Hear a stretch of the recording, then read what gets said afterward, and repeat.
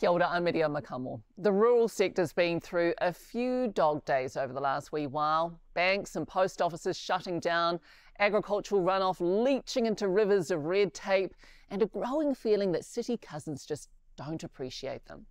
But now is one of the last remaining cultural lifelines to the country about to be taken out to the back paddock and shot. Mark Crysell pulls on his gummies.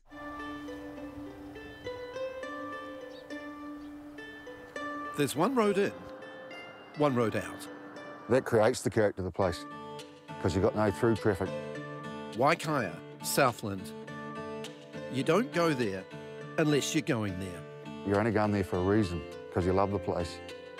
It's a, it's a wee cracker, wee town. Tonight, Waikaia is laying out its finest crocheted cushions for the bums about to sit on the seats of the local Masonic Lodge. This wee town is tarting up for a shining star. Look out, Waikaia, the small and mighty show is coming your way. Jackie Clark is coming to town. You know, the job of the, the wandering minstrel back in the day and now is that you, you set these little fires of joy alight everywhere you go. So The joy of Jackie Clark is only able to be spread because of an organisation whose sole purpose is taking art to this country's nether regions. I couldn't do this without this scheme. I couldn't take this risk or come to these places. I just couldn't. It's not possible. But could this be the final curtain? If we haven't got any money, we can't tour to anywhere. You know, of course they're upset. Totally understand that. But do you care about them? Do you consider yourself a, a bit of an arts connoisseur? No. Not at all, but Bevan Hopcroft, Waikaia sheep farmer. Do you ever feel isolated here? no. No, we're um, Alexandra's just over that hill, Clyde beside it, Cromwell just over that mountain range, Queenstown out there, and Fiordland, Te Anau, an hour and a quarter to the west. That beautiful little paradise called Riverton down there, one of the best beaches in New Zealand. So, two, just over two hours and leaving it. No, we're, we're in the centre of the universe. Bevan Hopcroft's family has been mustering and shearing sheep in Southland since the 1860s, but he reckons the cultural divide between farmers and their urban cousins is greater than ever. City folk think that we're, we're bad. We're actually not bad. We're, we're only caretakers of the land. We're only here, I'm only here for, for 30 or 40 years doing my wee bit to, to, for the next person to come along. He's watched rural communities like Waikaia continue to lose people to the bright lights of the big city, while the older ones stay behind to run the farm. It seems to be getting harder, uh, just that uh, urban drift, what uh, cities have got to offer for young people. It's, it's harder to get those well-educated ones to come back. We just need to re reconnect back with, with the city people somehow. How far now? An hour and a half. We're officially five minutes late.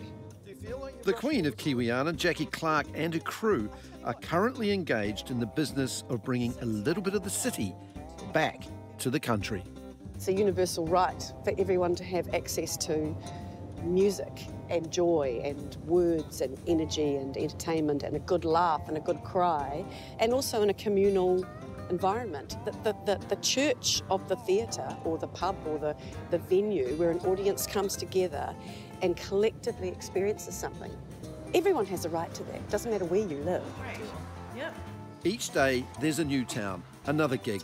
It's relentless. Tonight is show number 16.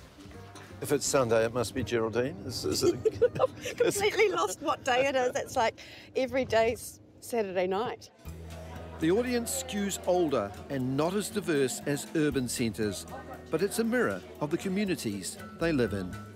It's a, you know, it's a, it's a defibrillator for the community. It's, get- it gets the heart going.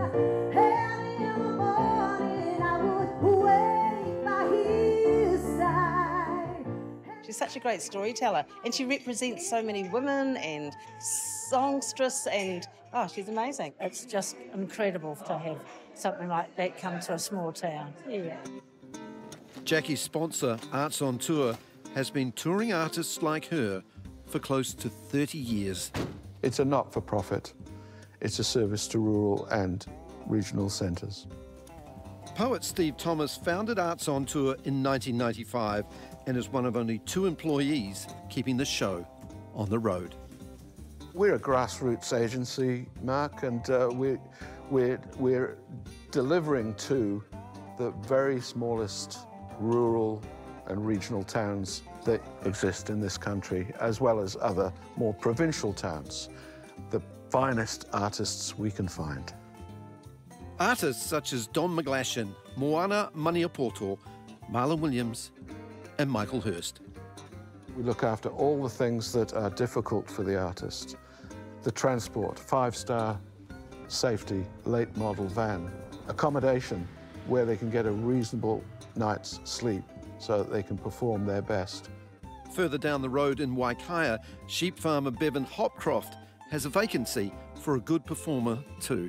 Genuinely, we're lacking in, in people that want to work in Southland for some reason. Yes, I'm after somebody if uh, somebody wants a job, after somebody for December, January, and a lambing shepherd for a couple of weeks in, in September, if you're keen, Mark. Uh, yeah, I'm busy. I'm washing my hair Oh, in yeah. September.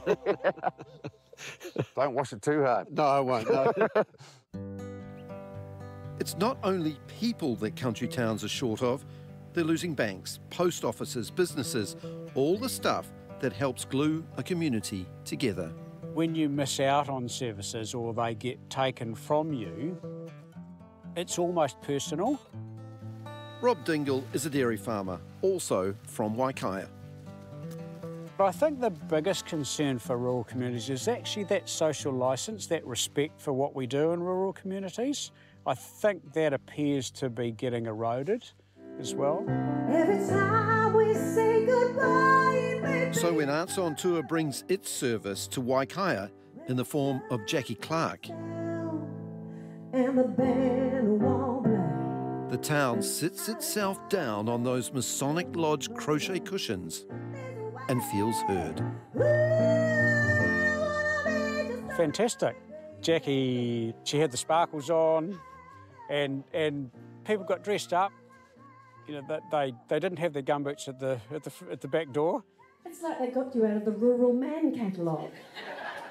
You're absolutely perfect. Look at that. Lovely salt and pepper hair, very clean shaven, lovely eyebrows. What is your name, darling? Magpie. Magpie. Something that can be taken for granted in the city means the world to the country. You take your, your wife along and, and it's date night. You know, you, you, you have a glass of red and talk to the neighbours. You haven't seen the, the neighbour for a couple of weeks and, and chew the fat and so how important is that to binding this community together? I reckon that's that's that's a real important one to get a show like that turn up. Absolutely brilliant. My story is much too sad to be But Creative New Zealand, Arts on Tour's biggest funder, has made a decision that could put the future of events like this one in jeopardy.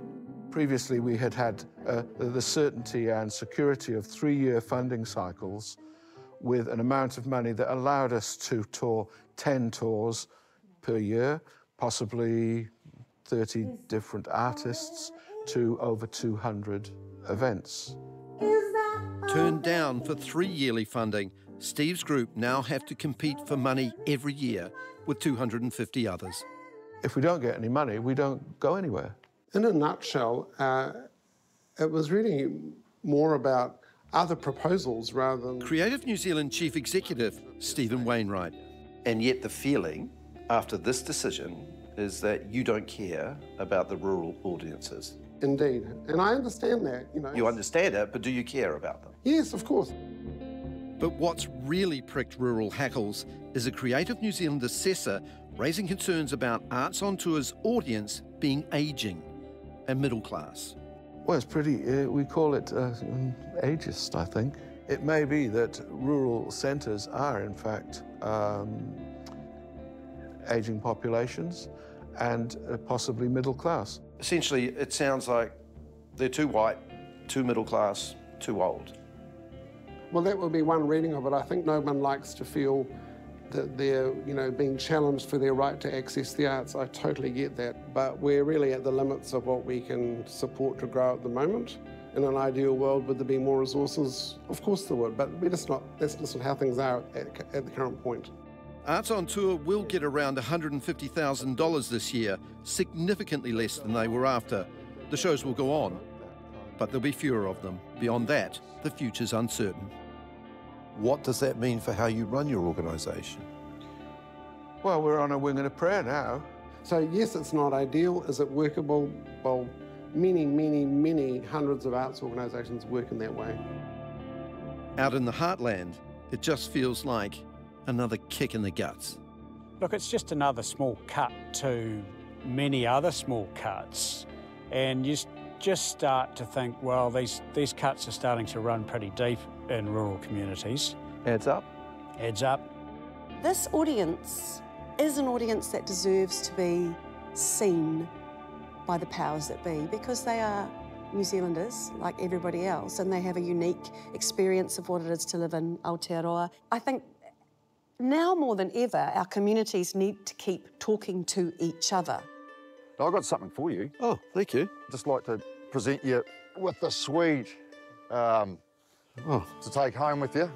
Hopefully you can get in your bag. The rural sector might feel under siege. My pleasure. But its sense of humour remains intact. My pleasure. I actually brought something for you as well. Oh, did you? Yeah. This, in, in the spirit of what uh, the urban people give back to the country. Here you go, mate. Peanuts. Oh, thanks very much. You like the peanuts? I hate peanuts. I bought them this morning. I hate you peanuts. Got, you got a, peanut, got a peanut allergy.